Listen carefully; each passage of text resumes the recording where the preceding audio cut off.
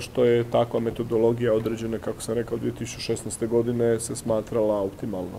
Dakle, ja vam u metodologiju ne mogu ulaziti, niti sam stručnjak za to područje, međutim, vjerujem u činjenicu, odnosno vjerujem u to da su EIHP, odnosno tadašnje ministarstvo, oni koji su ga vodili, upravo za energetiku, odnosno HERA, da su išli sa najboljim mogućim namjerama nemam razlog sumnjati u to. Jesu li pogriješili ipak, je li vrijeme pokazalo da su pogriješili izborom takve metodologije?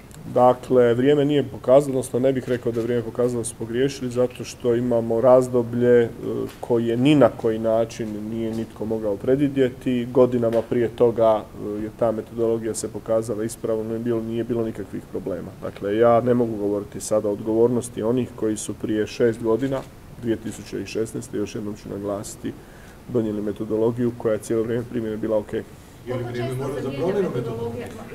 Promjena metodologije u ovom trenutku neće donijeti e, nikakvo rješenje problema s kojim, su s kojim se susreće Državni ured za javnu nabavu, a to je da će cijena plina prema njima biti uvećana. Koliko često se mijenja metodologija i koliko bi trebali ova formula, kako sam shvatio, nije bila predmet propitivanja u proteklom razdoblju, jer da je, vjerojatno bih ja kao ministar znao za to. Dakle, 2016. kad je donesena, 2017. 18. 19.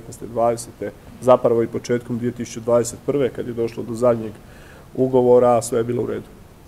koliko će biti računi? Ne bih to u ovom trenutku mogao reći. Kako sam vidio u natpisima u medijima 30%, međutim, logika je ta da ćemo jednostavno morati iznaći ta sredstva. Nema drugo.